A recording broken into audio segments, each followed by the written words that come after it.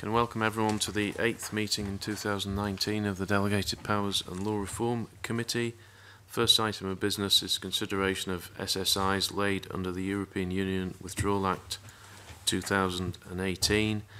Uh, so we're looking at these in terms of the SSI protocol and we're considering the scrutiny procedure under which they've been laid and the categorisation applied by the Scottish Government. So the following instruments have all been laid under the negative procedure and have been categorised by the government as of low significance. These are SSIs 2019, 59, 60, 69, 71 and 73 and in each case our advisers indicate that the scrutiny procedure and the categorisation could be appropriate. Um, so is the committee content uh, with uh, the scrutiny procedure and the categorisation? Okay. Next item is consideration of an instrument subject to affirmative procedure. No points have been raised by our advisers on the draft Services of Lawyers and Lawyers Practice EU Exit Scotland Amendment, uh, etc. Regulations 2019. Is the committee content with this instrument? Okay. Uh, gender item 3 is instrument subject to negative procedure.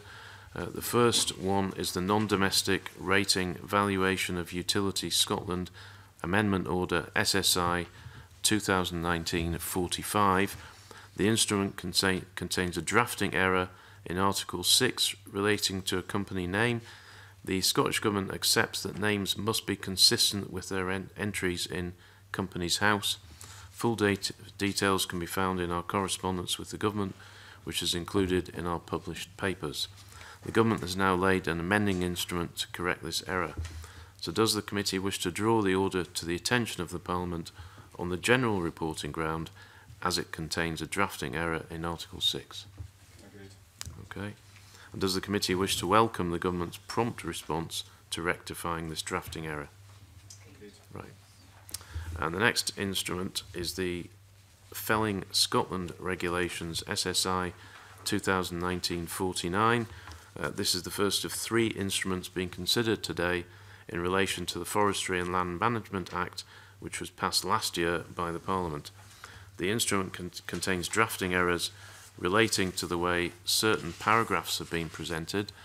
Members will have seen from the Scottish Government's correspondence in the published papers that it has thanked the committee for drawing this to its attention and will correct this at the earliest opportunity. So does the committee wish to draw the instrument to the attention of the Parliament on the general reporting ground due to drafting errors in paragraphs 1 and 2 of Regulation 4? Okay. And does the committee wish to welcome the Scottish Government's proposal to correct the errors by amending instrument at the earliest opportunity? Right. Uh, next, I, next instrument to consider is the Scotland Act 1998 specification of functions and transfer of property, etc. order SI 2019-183. Uh, the order also relates to forestry regulation under the recently passed Act. It contains an error relating to defective drafting. There's an uh, erroneous reference in Article 3 of the order to a section in the 2019 Climate Change Act concerning duties of public bodies and again the detail can be found in our published papers.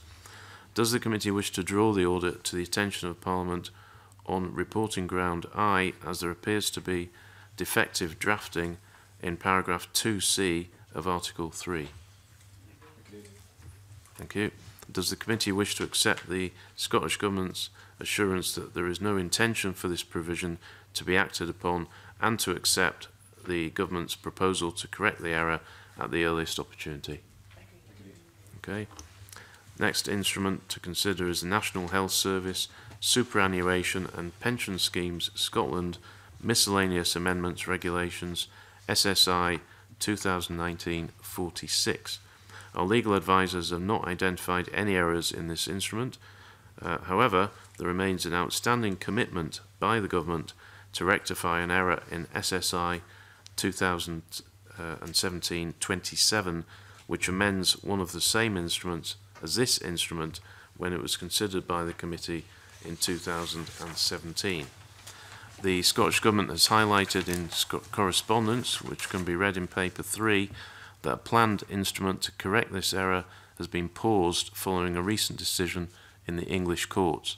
However, given that the error was identified by the committee as defective drafting, which related to provisions that should have been made retrospective, the committee may wish to encourage the Scottish Government to rectify the error as soon as possible. So does the committee agree to encourage the Scottish Government to rectify the error in SSI 2017-27 as soon as possible? Okay. Uh, there are further seven instruments on our agenda laid under the negative procedure and our legal advisers have not raised uh, any points on any of them. The instruments are SSI's 2019 52, 54, 56, 60, 64, 68 and 69. Is the committee content with these instruments? Thank you. And the final item of business is consideration of an instrument not subject to any parliamentary procedure. SSI 2019-47 is the third instrument on, on our agenda today relating to forestry regulation under the 2018 Act. There's a drafting error in this instrument relating to references that should have been footnotes. Again, members will have seen from the Scottish Government's correspondence in the published papers that it's thanked the committee for drawing this to its attention and will correct this at the earliest opportunity. So does the committee wish to draw the instrument to the attention of the Parliament on the general reporting ground for drafting errors in paragraphs 2A and 2B of Regulation 19 and paragraphs 2A and 3 of Regulation 20. And does the committee wish to welcome the Scottish Government's undertaking to correct the errors by amending regulations at the earliest possible opportunity? Thank you. And I will close the meeting.